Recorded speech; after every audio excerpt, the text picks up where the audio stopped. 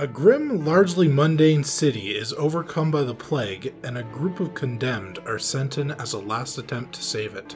The concept for Black Legend carves out a historical fiction niche, often not explored, and does a fantastic job setting up the premise and its atmosphere. Unfortunately, it does little else to stand out. At first glance, Black Legend made me think strategy Bloodborne, with far milder supernatural elements, and while it may sound like an amazing concept, it really is. Sadly, I'm not here to review a concept though, but the game built around it. While the muted tile set, ever present fog, and palette that is almost entirely shades of grey definitely set the atmosphere as realistic and constricting, capturing the feeling of being trapped inside a box afraid of all the diseased crazies outside, it also quickly becomes unsatisfying, then remains there for hours.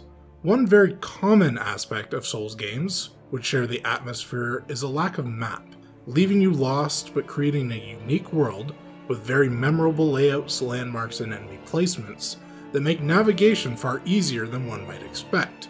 What happens though when nothing stands out? Enemy encounters are all cultists and dogs.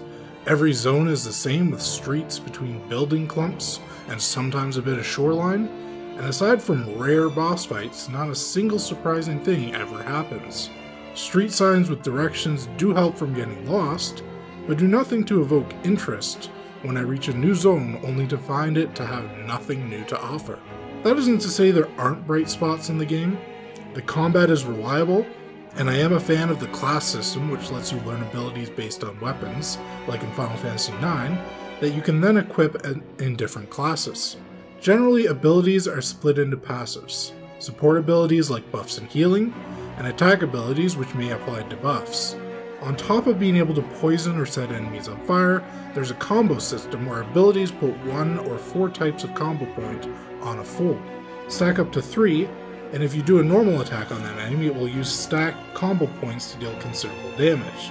This definitely comes into play on higher difficulties and against tough foes, but since the difficulty is fairly customizable, letting you set things such as damage, permanent death for party members, encounter rate, you can easily make the game a beast to get through and force you to really utilize those combat systems.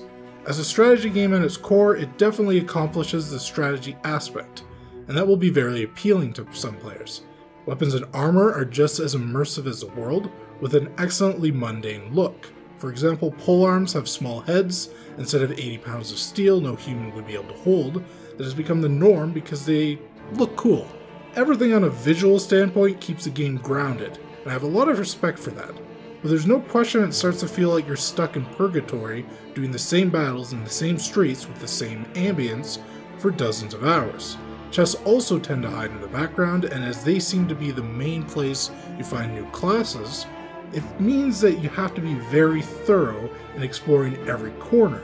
But there's not much excitement in carefully scanning terrain where everything looks the same. All that said, the game is at its core at least decent. It's playable and it's very immersive. The frustrating UI, however, places such a damper on the game, I'm not sure what they were trying to go for. Tooltips give considerable flavor information, and too little simplified useful information for quick use in combat. Since you're changing classes and thus abilities frequently, you never get used to what the icons do. So what would be the most ideal for the combat tooltips would be just the debuffs and what combo stacks you gain in a simplified format. The extra information is extraneous, and ends with a paragraph that basically gives so much info it gives none at all. Buttons also change what they do. For example, in the main menu, circle closes the main menu, and square toggles the class options. But in the class menu, square closes the main menu, and circle toggles off the class options.